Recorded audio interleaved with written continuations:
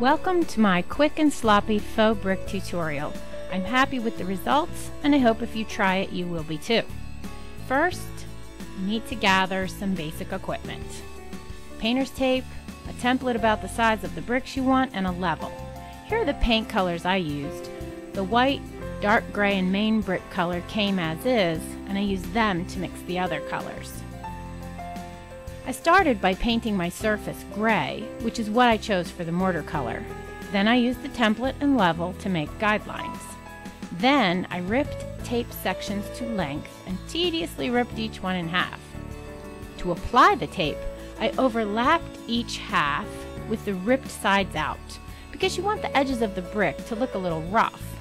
But if some edges are straight side out, don't worry. In fact, don't worry about anything. These bricks are very forgiving. The mortar ended up being about a half an inch wide.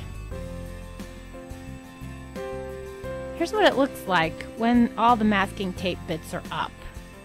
And a close up.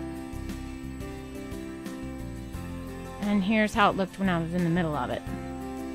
In the next clip, you'll notice that I reused the tapes from another finished piece of the wall.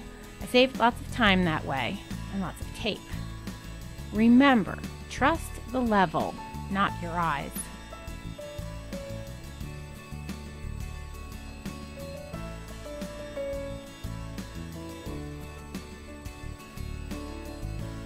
After all the masking tape is up, it's time to paint in the bricks. I just used a brush. First I painted a few random lighter and darker colored bricks, then the rest in the main color. I also dabbed most of the bricks with a green kitchen scrubby to give texture, but I didn't show that here. So after that dried, I carefully pulled off the tape. Still, bits of paint stayed attached and I was left with ready-made white highlights. I would have painted these in anyway if the tape hadn't done it for me.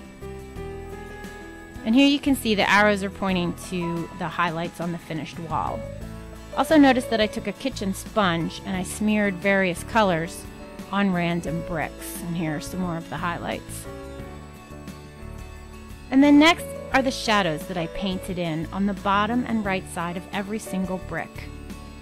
And the arrows are pointing to those. In general, I painted a thin dark line close to the brick and then randomly smeared a little bit out onto the mortar. And after every brick was done, I went back with the mortar color and touched up, removing unwanted smears and pencil lines. And here again is the final product. Once a badly painted bit of heating duct, now a brick wall.